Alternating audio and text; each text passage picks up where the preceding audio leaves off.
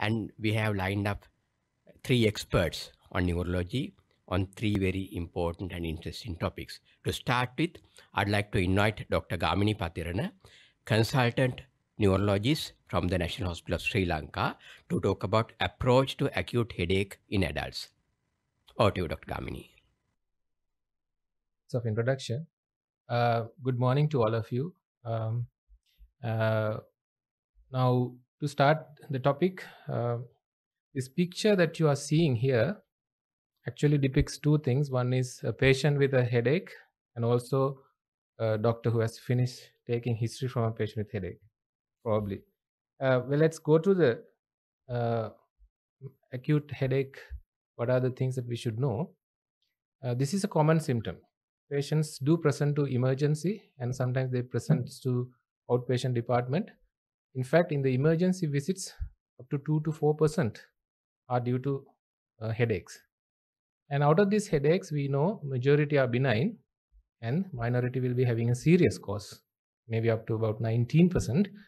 And the main task in the emergency actually is to uh, distinguish this minority serious group from the majority benign group. And the tools that we have for anything else like uh, history, examination, plus some investigations like neuroimaging, lumbar puncture, maybe ultrasound, and a couple of blood tests, and so on. Uh, before we move on, these two terms I may be using in my presentation. Those, of who you have not heard these two terms, the primary and secondary headaches. Uh, when you say secondary headaches, usually there's a demonstrable pathology or etiology is there, either a CT scan or a blood test or some uh, lumbar puncture results may show some etiology.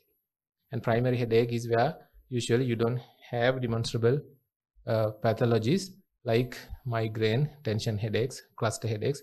Usually they are recurrent and going on for a number of years probably.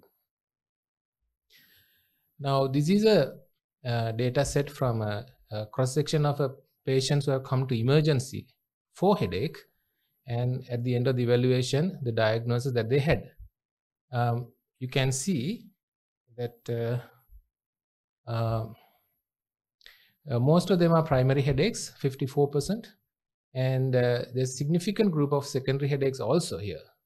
And you can see secondary headaches also has certain benign pathologies under that plus serious pathologies as well so uh, the the cross section of the patients who are coming to emergency can vary from various hospitals, but here it's about 50%, 54%, and 42%. But certain instances we have seen about 80% of primary headaches, 80 to 90%, and rest being secondary headaches. So this uh, primary headaches and the secondary uh, benign secondary headaches, usually we after evaluation we get them to the OPD, outpatient department or the clinic and serious pathologies needs attention for further workup and uh, necessary action. And in the emergency setting, a patient with headache, uh, they are with pain, so you must relieve the pain as well. And on the other hand, you must work up for a looking for a cause. Now, it's very difficult to assess a patient who is in pain, so maybe relieving pain should happen concurrently while you are working up the patient. And uh, there are there may be certain myths among ourselves, misconceptions that severe headache indicates serious underlying etiology always, but it may not be always. Of course, when you have severe headache, uh, like thunderclap headache, very severe headache, sometimes you might have to look for a cause, but it doesn't mean that all severe headaches or thunderclap headaches will end up having a serious etiology. And gradual onset headache must have a benign etiology, may not be true always, sometimes gradual onset headaches can have a serious pathology also. And when the headache is uh, responsive to your treatment, you feel a little reassuring that thinking that maybe the etiology is not serious. That also may not be true. You can have good response to your treatment. Your patient may become headache free, but still you can have a serious underlying pathology. Now, this is the trajectory of the headaches that they come with. On the left hand side, you see a sharp rise in the severity of the headache within a couple of seconds or minutes, where it's acute severe headache. When you call it thunderclap headache, when this uh, onset to peak uh, arrives within a minute, if it takes longer than a minute, you call it acute severe headache. And then on the other hand, in the middle, you see recent onset, persistent, progressive headache. And on the right hand side, you see patients come with acute headache, but you ask from the patient, the patient had previous episodic headache. Maybe at the background there was migraine, tension headache, or, or cluster headache. And then currently the patient is presenting with acute headache. Now, this group, the third group, uh, the ED doctor has to decide whether this, this headache is different or similar to the previous headache. If it is similar, probably you might manage as the same ongoing headache episode. Or if you think it's a different headache, or uh, maybe a thunderclap headache or acute severe headache, you may wonder whether something else is going on. So you might work towards one of the two uh, trajectories that you have shown in the left hand side. So this third group, actually you can have two etiologies. So you have to decide which one the patient is going to be worked at. So usually the first two groups will end up having come into the emergency setting. In our setting, of course, they get admitted to hospitals. And uh, other group, of course, may see in the outpatient setting or may come to the uh, emergency as well. If you look at the causes of these three groups, the acute severe headache or thunderclap headache, uh, the, of course, you need to rule out subarachnoid hemorrhage. And then uh, this second one is actually reversible cerebral vasoconstriction syndrome, which is a fairly new entity, not exactly new, but uh, that's a benign cause of acute thunderclap headache.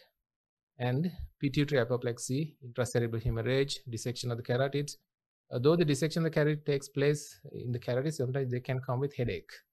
Meningitis and colloid cyst of the third ventricle, maybe carbon monoxide poisoning. The patient come from an area where there was fire or um, engine had been started in a closed space or something like that. Uh, workmates, group of people coming with headaches. Um, and the middle group, you have giant cell arteritis, venous sinus thrombosis, idiopathic intracranial hypertension, spontaneous CSF hypotension, uh, meningitis, brain abscess, brain tumor, and subdural hematoma, and so on. And on the other hand, you have the primary headache syndromes. So how do you work them up? So when a patient comes with headache, you need to look for clues in the history and examination, which I will show you in a short while. And uh, certain clues like say, for example, there was a neck jerk or after a chiropractic or or maybe a, a pregnant lady. So, what circumstances and clues may indicate or give a hint towards a particular diagnosis, in which case, when the clue is present, you uh, work up them in the appropriate diagnostic pathway. And if no clue is available, patient come with severe headache or uh, significant headache. The Snoop test, Snoop, Snoop 10, I will show up in a next slide, is actually the red flags of headaches, where you need to work up. Now, Snoop 10 I have put up here even though patient in his history does not tell any clues towards a particular diagnosis, you are supposed to ask and look for this Snoop 10. Snoop 10 I have got from the up to date. If you search on the internet, you will give the abbreviation or the mnemonic Snoop 10 stands for a uh, list of uh, red flags where you are supposed to work them up rather than discharging. So if that is there, then appropriate testing with either imaging or lumbar puncture and so on. So that's in a nutshell how the patients will be worked up. What are the clues in the history?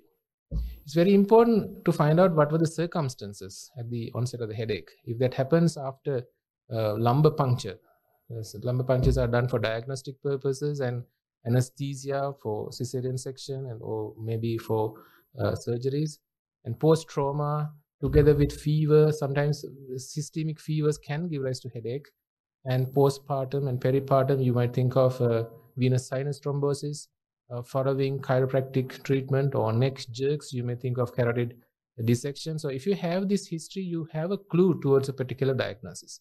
And associated clinical features like uh, headache is associated with uh, dropped level of consciousness, uh, seizures, focal deficit, all these indicate uh, towards a particular diagnosis. So you will accordingly work up the patient.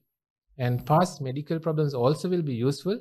If the new onset headache comes with a history of a background cancer or maybe background HIV will be useful for us in getting a clue towards a diagnosis. And examination also you must look for clues. Ocular examination is very important. You will have a lot of clues in the ocular examinations like Horner syndrome might indicate dissection of the internal carotid. Uh, you are aware that the sympathetic to the uh, pupil goes around the carotid artery. And complete third nerve palsy might suggest it's an aneurysm of the posterior communicating artery. And visual field effects, especially bitemporal hemianopia, might indicate pituitary apoplexy. And disc edema or papilledema might suggest um, space occupying lesion, intracranial hypertension, so on. And cerebellar signs has to be looked for, and you might not pick it up unless you examine the patient. Might suggest cerebellar hemorrhage. And also, you must palpate the temporal arteries, especially in a patient who is older than 50 years, may include it, it may give, be a clue for giant cell arteritis. And of course, neck rigidity, neck stiffness. Uh, in fact, it should be neck stiffness. Rigidity is different. It's again a feature of meningitis or meningismus from subarachnoid hemorrhage. And rashes, uh, you all have seen meningococcal septicemia has to be suspected and antibiotics should be immediately started. So you go through the uh, workup and that's the SNOOP 10 danger signs or red flags. Even if the patient does not have a clue in the history of examination, you must actively ask these things and look for these things. Again, some of them are repetition of the same things, but you must look for them. If any of them are there, of course, you need to work up them for uh, uh, uh, uh for, a, for a course. And next tool that we have is brain imaging. Either you will do a CT scan or MRI scan. And non-contrast CT is quite useful in acute situation. Uh, they say uh, uh, subarachnoid hemorrhage, if you suspect and the patient presents within six hours of onset of the headache, there is about 99% chance of picking up on the CT scan, provided you have a hematocrit of more than 30 and uh, the CT scan was read by a radiologist looking for subarachnoid blood. And of course, intracerebral hemorrhage, pituitary apoplexy, all these things will be picked up on CT scan. I will show you a couple of CT scans as I go along. Now you can see on the left hand side, you have subarachnoid blood uh, in the subarachnoid spaces, that's whitish in the sulci. And on the middle, you see intracerebral hemorrhage. And on the right side, you see transverse sinus thrombosis. So these are all in non-contrast CT scan. Let's have a look at another one. On the left side, I'm not sure whether you can recognize that there's a midline shift here. And also there is a subdural collection, which is isodense to the brain parenchyma. So that's isodense SDH. And also uh, anterior communicating artery aneurysm with a subarachnoid bleeding on the right hand side. You can see the interhemispheric fissure there is blood and also the aneurysm is shown up in the in the down arrow. This was actually uh, passed as a normal ct and picked up by the radiologist. So it's very important that when you are having a patient with headache if you do a non-contrast ct and the ct looks normal of course you must get it read by a radiologist. Because on the console sometimes they can easily differentiate whether blood is there and uh, we, they can do windowing and they can adjust uh, the images and look better. Uh, it's it's not correct. If you look at the ct and you think the ct is normal and pass it uh, that the normal ct and later the radiology report says it's abnormal. So the radiology report says subarachnoid hemorrhage then there will be a problem. So always if you suspect subarachnoid hemorrhage patient with acute headache better to get a, a ct scan seen by the radiologist, even though it looks normal. And the other thing, uh, even if the CT scan is normal by the radiologist, it doesn't rule out serious etiologies. That's another misconception people have. Normal CT rules out most of the serious causes. And lumbar puncture is the other tool that we have. Uh, it should be performed in all unusual or persistent headaches, whether the onset was sudden or progressive. And we are trying to pick up meningitis and hypertensions and hypotensions within the CSF space. And uh, subarachnoid hemorrhage is uh, missed in CT scan in about 5% if you do it within 24 hours. And uh, so that 5% will be picked up by the CSF. We are looking for red blood cells and xanthochromia. And xanthochromia is pathognomonic of subarachnoid bleeding. Uh, lumbar puncture performed usually after the non-contrast CT brain because uh, because of the concern that the there may be a tumor or increased intracranial pressure. The moment you do the lumbar puncture, the patient may cone. So because of that, this this concern that you must have a NCCT brain before going for the lumbar puncture. But it may not be so if when you're suspecting meningitis in a patient who is conscious, normal conscious level, and fundoscopy does not show any papilledema or there is no focal deficit, and we don't wait for non-contrast CT, you can go for lumbar puncture. But otherwise, if you have, if you suspect uh, raised intracranial pressure, of course, you should go for a image before going for the lumbar puncture. And uh, usually CSF is taken for four tubes and you will be looking for RBC counts and the xanthochromia. Xanthochromia means bilirubin in the CSF. And traumatic tap is the next question when you are doing lumbar puncture, you're looking for blood and seen about 30%, but this percentage can change depending on the you know, environment and the person who is doing it. So uh, there were two parameters that we look for. Um, whether we should look for uh, the RBC count in the first and the fourth, the comparison of the two, four tubes, or whether we should look for the absolute count in the fourth tube. And this particular article says absolute count in the fourth tube is superior in picking up whether this is a traumatic tap or whether it's subarachnoid hemorrhage. So they say if the red cell red cell count in the fourth tube is more than 2000, it suggests uh, subarachnoid hemorrhage. If it's less, it, uh, with no xanthochromia, uh, SH ruled out. And other investigations, you may go for carotid ultrasound looking for dissection and um, transcranial Doppler also had been described in, in, in things like uh, reversible cerebral vasoconstriction syndrome. And the next tool that we have, of course, is MRI brain. And people used to ask for MRI brain headache protocol. Uh, but headache protocol should include all these uh, sequences. But uh, if you just ask headache protocol in our setting, Sri Lankan setting, they may not do all of them. And if you do all of them, it will be a big cost. Patient will be in the machine for a longer period. But depending on what you suspect, you need to specifically ask for various sequences. Otherwise, just writing headache protocol, they may not be doing all of them. Now, for example, if you do not do the fat saturation, axial, cervical, and cerebral sequences, you are not going to pick up the arterial dissection. So, so you need to specifically ask for various sequences. And uh, digital subtraction angiography, if the patient has persistent headache with subarachnoid hemorrhage, you are still suspecting an aneurysm, that's the gold standard. You might have to go for that if you are strongly suspecting irrespective of uh, uh, other negative results. Depending on the time i will line up a couple of cases. Uh, the um, chairpersons will let me know if, if i'm running out of time. The first case is a 45 year old woman with a history of migraine at the background and a recent diagnosis of hyper hypertension presented with a two day history of increasing headache. She had taken over the counter medications with some relief.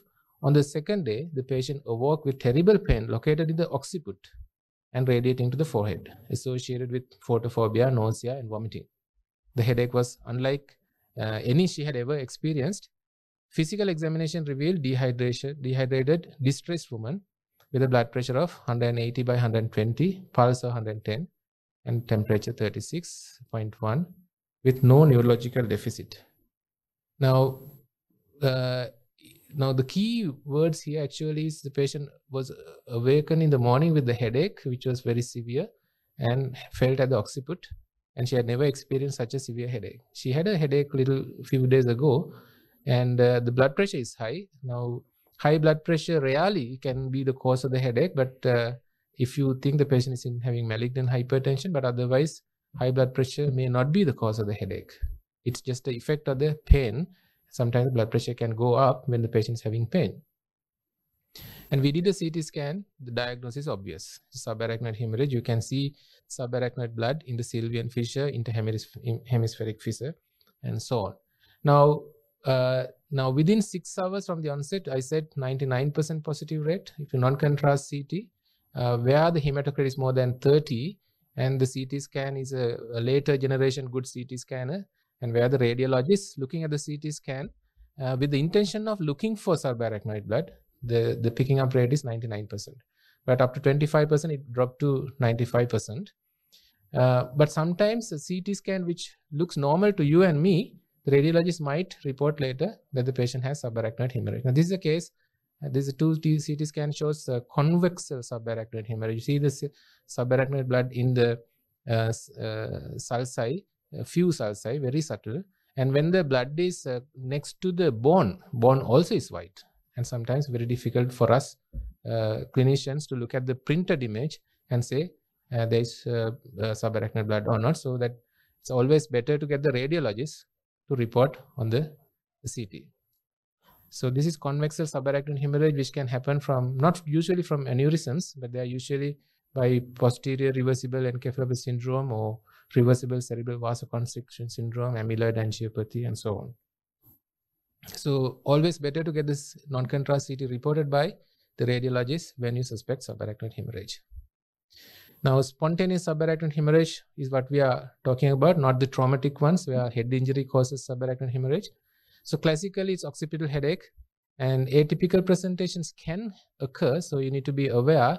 Uh, just because you don't have occipital headache, thunderclap headache, acute severe headache, may not rule out subarachnoid hemorrhage. So you have to be very careful in picking up the atypical ones because this is a killer, and this happens with young people. So you have a lower threshold in picking up subarachnoid hemorrhage, especially if the patient has uh, neck pain, seizures, meningismus, and look at the fundus. If you see subhyaloid hemorrhage, not everyone with subarachnoid hemorrhage will have subhyaloid hemorrhage, but if you have it, that favors towards subarachnoid hemorrhage. And 50% of them have normal neurological examination as well. And rupture aneurysm is accounting for about 80, 85%. And if you treat them, the case fatality drops to 18%. If you do not treat, the case fatality is about 60%. And also, there may be other causes other than aneurysms also. Now, that's also another uh, common uh, presentation of subarachnoid hemorrhage, which is called perimesencephalic hemorrhage, which is a benign condition actually. About 90% of them will not have a surgical cause, uh, but the cause is actually unknown. But the small percentage can have a uh, aneurysm, so we need to do angiographing if we suspect an aneurysm here. And there can be other causes also, other than aneurysmal uh, uh, causes for um, uh, subarachnoid hemorrhage. Uh, let's have another i'm just lining up couple of cases to uh, you know uh, discuss the various causes that presents to ed so here's a 50 year old woman previously healthy presenting with four episodes of thunderclap headaches. Of course when you hear it you always think this is subarachnoid hemorrhage. She described a sudden onset occipital severe headache. The headaches were associated with vomiting. She reported worsening of headache by straining and lifting objects Pain lasted for up to about two hours on each occasion. She had a couple of times. The episodes were several days apart. She found no relief from paracetamol. She denied any confusion, fever, visual symptoms, or seizures. Uh, her neurology was normal GCS and temperature is normal. Blood pressure is um, 160 90, and uh, uh, rest of it is normal. And uh, her CSF, including the opening pressure, also is normal, and her urgent non-contrast CT brain also is normal. You might wonder what this problem is. The key words here actually, she had four episodes of thunderclap headache, few days apart, not just one. If you see few uh, episodes of thunderclap headache, you must suspect uh, reversible cerebral vasoconstriction syndrome. And this patient did not have subarachnoid blood in the CSF, and CT scan also did not show any subarachnoid blood. But because subarachnoid hemorrhage is a possibility in this patient, we went ahead with MRA, uh, magnetic resonance angiogram. And what you see is uh, spasms of the arteries. You see this uh, uh multifocal segmental spasm. This is called uh, uh, sausage in string appearance. so reversible cerebral vasoconstriction syndrome is likely when you see this. But you have a differential diagnosis of cerebral angiitis also when you see this. So to differentiate is very difficult, but the clinical picture is more in favor of RCVS. And when you have a question of differentiating angiitis and RCVS, you have a clinical tool, clinical instrument, uh, looking for uh, whether it's RCVS or not. And the clinical instrument also is called RCVS2. So we have two differential diagnoses, and that's the clinical tool that we have, uh, RCVS2. And if the score in this tool is more than five, it's likely to be reversible cerebral vasoconstriction syndrome. So our patient actually had a recurrent single uh, thunderclap headache. So he had five marks there. And you see the carotid uh, intracranial narrowing is there. So two marks there, already seven. And uh, she's a female, so eight marks. So this patient's likely to have a RCVS. So we did not work up towards uh, but we did a follow-up MRA, and we demonstrated that that was re- reversible cerebral vasoconstriction syndrome. So reversible cerebral vasoconstriction syndrome is a benign condition. Rarely it can cause strokes and various disability. Extremely rarely can cause death as well. Um, reversible segmental narrowing of the cerebral arteries, and they're usually present with thunderclap headache with probably neurological deficits related to brain edema or stroke. Um, sometimes they can cause convexual subarachnoid hemorrhage as well. And digital subtraction angiography is the gold standard for diagnosis in condition. And these are again a couple of pictures showing the changes that happen in reversible cerebral vasoconstriction syndrome.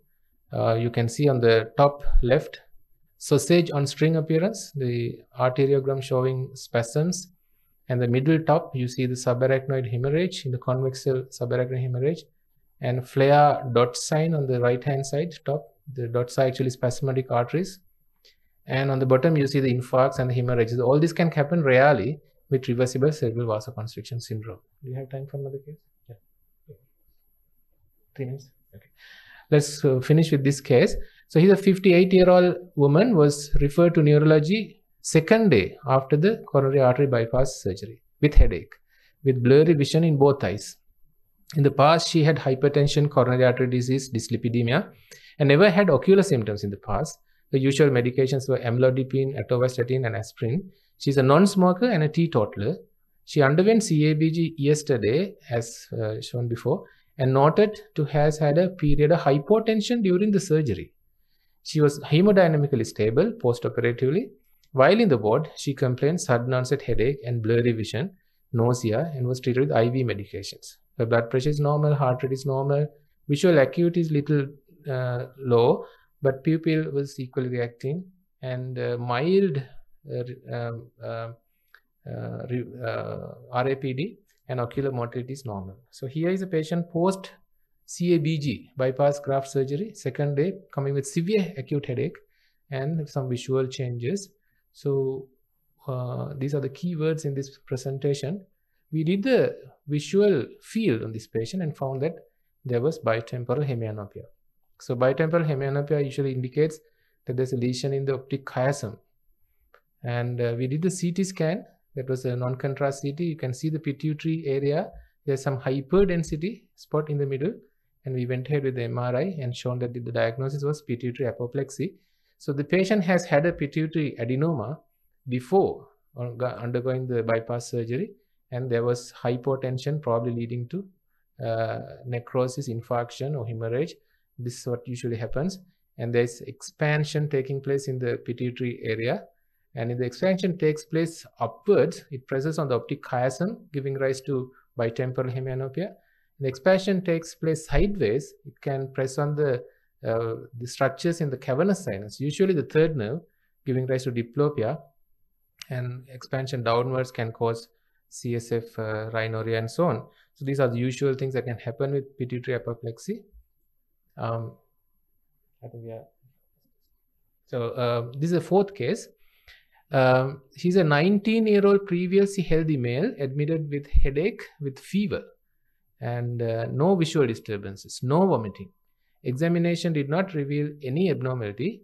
Visual fields were normal. Hematology, biochemistry, x ray of the skull normal. He was given treatment and was discharged. So he, his headache got better. Patient was discharged. We have this uh, preconception when the headache is better, probably it's a maybe a benign condition. Four days later, he was readmitted with throbbing headache located over the both temporal regions, no nausea, vomiting, or visual disturbances, behavioral disturbances, seizures, and his Glasgow Coma scale was 15. Nervous system examination normal, including ocular exam. He keeps complaining of throbbing headache with episodic worsening in severity.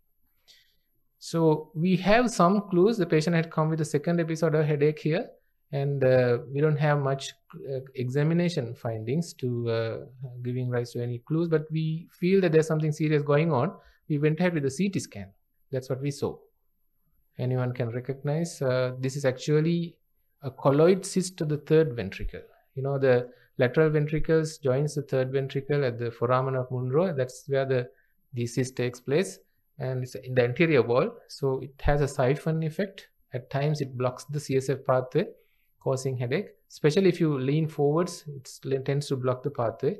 So the headache can comes on when you lean forward and you know uh, settles when you uh, lean backwards. So colloid cyst of the third ventricle uh, is what the diagnosis is. So these are cystic lesions located in the anterior part of the third ventricle, close to the foramen of Monro.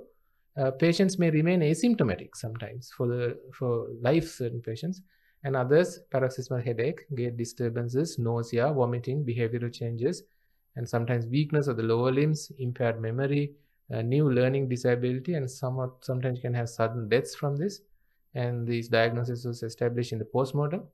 So non-contrast CT of the brain uh, you see a well-defined round oval non-enhancing lesion. These are colloids so it looks brighter on the non-contrast CT treatment uh, you have surgical treatment you either endoscopic resection or microscopic removal by the transcortical transcallosal endoscopic method. So so these are the uh, cases that i uh, so we will stop here and uh, any questions i can answer